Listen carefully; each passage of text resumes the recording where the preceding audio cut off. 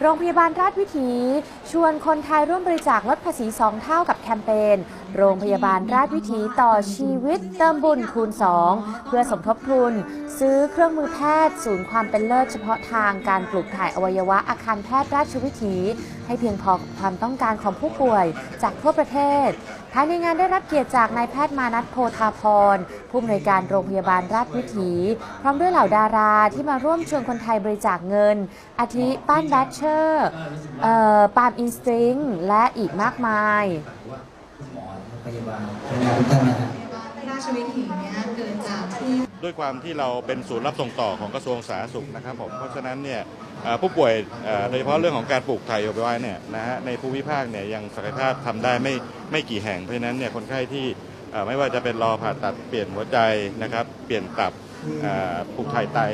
นะครับพวกนี้เนี่ยกลุ่มหนึ่งจะส่งเข้ามาหาเรา เพราะฉะนั้นเนี่ยระยะเวลารอคอยจะยาวนะครับผมก็มีความจำเป็นเร่งด่วนตรงที่ว่าบางคน รอไม่ไหวนะครับผมก็เลยทำให้บางคนเนี่ยต้องประคับประคองไปนะครับทางใดทางหนึ่งนะครับผมสืบเนื่องจากที่กระทรวงสาธารณสุขได้มีนโยบายนะครับผ่านคณะรัฐมนตรีให้ผู้บริจาคผ่านโรงพยาบาล สามารถจะลดหย่อนภาษีได้สองเท่านะครับเราก็เลยถือโอกาสที่จะประชาสัมพันธ์เชิญพี่น้อง